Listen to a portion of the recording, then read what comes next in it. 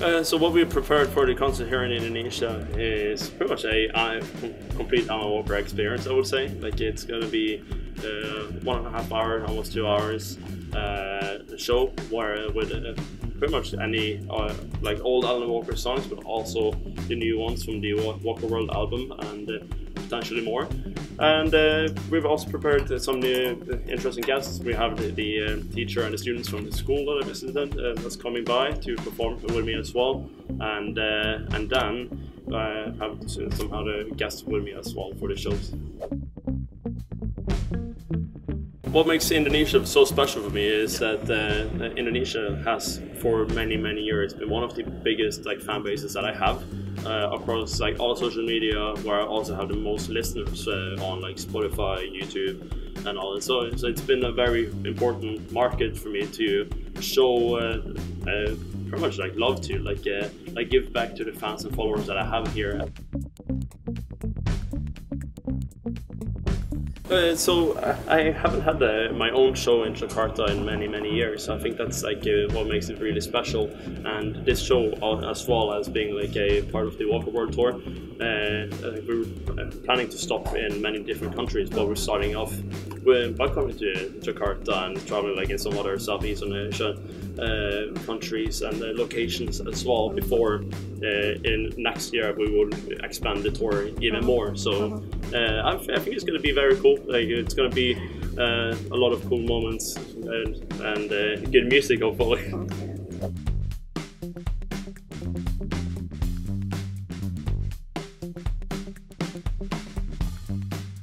So, uh, as, as, I already said, uh, it's like Indonesia has always been like a really important market, but and I know that I have a very big fan base here. So I think like by showing presence, by coming here to have a pretty big show, uh, it's very cool. Like and and uh, and like, like that I have the opportunity to come here and play uh, a show where I solely focus on giving people Alan Walker or as much Alan Walker as possible. It creates a different experience, but also a enjoyable experience for the people and the fans and the audience that's coming to the show.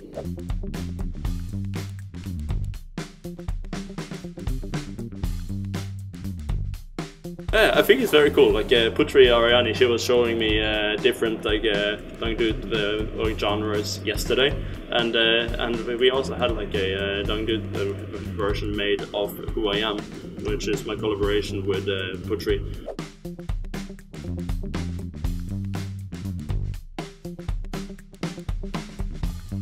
I mean, there's a lot of moments that I've had here in Indonesia, but I've tried some uh, different foods. Uh, I tried a fruit, the, the, very smelly one. Uh, durian, yes. I tried that with uh, Raffi and Nagita last time I was here. And uh, it, I mean, it, it, tasted good, but like the smell was uh, something else. But like that's like something having the honor to work with Putri was uh, really cool. Uh, I first heard of her from uh, AGT, and then we worked together uh, here when I was in Indonesia for some TV shows. And, uh, and then uh, like I recognized her voice, and she sounded incredible, even when she was singing my songs.